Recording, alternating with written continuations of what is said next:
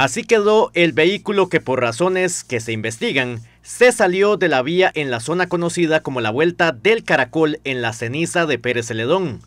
Los hechos se reportaron minutos después de las 6 de la mañana de este viernes.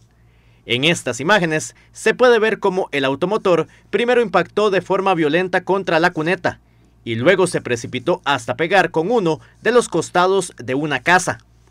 Esta situación dejó a dos personas valoradas por la Cruz Roja y el traslado del conductor en una condición amarilla al centro médico. El día de hoy, a ser las aproximadamente las 6 de la mañana, se atiende accidente de tránsito.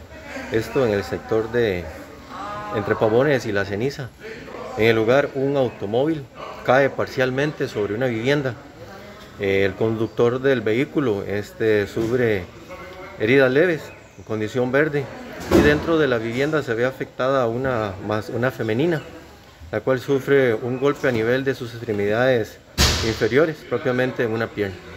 Gracias a Dios, solo daños materiales, no hay afectación grave a esa persona. Cruz Roja y bomberos atendieron la escena. La casa solo presentó daños materiales.